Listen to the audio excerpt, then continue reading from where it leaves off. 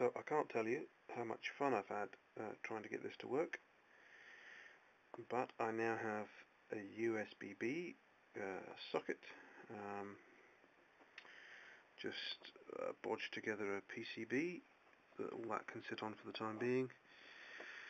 Um, fun was finding the pinouts for the USB uh, socket, that was fun enough. Uh, that's jacked into the bottom end of the um, breadboard here. The only bit of the breadboard we're interested in at the moment for this project is just the bottom corner. Uh, uh, resistors, uh, power and ground, yes this is powering the um, Arduino and then uh, three data lines. This is connected to positive rail and it's just a flying lead which is pretending to be my mysterious button or key and then I've just got on pin 12 uh, a pull down resistor pulling that down to ground. And if I make contact here like I've just pressed my button you take a look at the screen here.